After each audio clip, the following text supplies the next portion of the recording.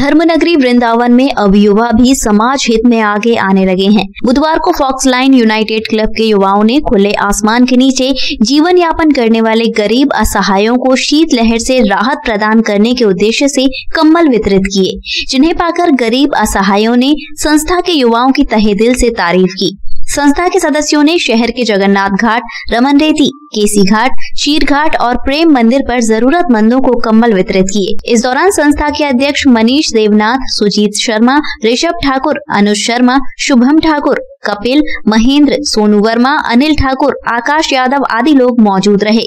मेरा नाम अनुज शर्मा है। तो आज आपका क्या कार्यक्रम रहता है आज हमने राइड निकाली थी गरीबों के लिए। गरीबों को कंबल दिए थे हमने। जो मतलब डिवाइडर वगैरह पे लेटे रहते हैं उनके पास नहीं है कंबल वगैरह उड़ने के लिए तो उनको कंबल दिए थे हमने आज। तो आगे और जो ऐसे काम और आगे आपके संस्था की ओर से चालू रहेंगे? हाँ आगे और चालू रहेंगे।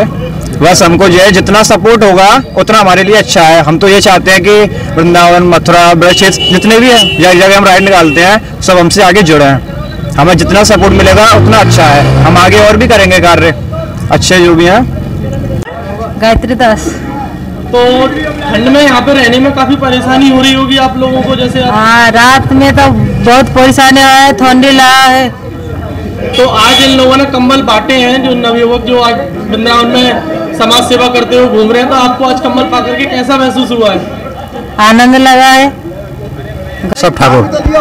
तो आज आपने जो पूरे वृंदावन में असहाय लोगों को कंबल बांटे हैं तो इसके आगे आपकी और क्या विचारधारणा है? ये आज तो हमारी जो राइड रही है, वो राइड फॉर बेगर्स रही है।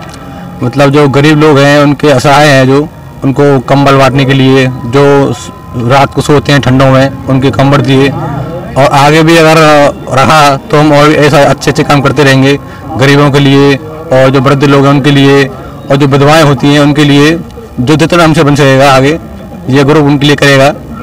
हमारा ग्रुप है फॉक्स लाइन यूनाइटेड क्लब नाम से।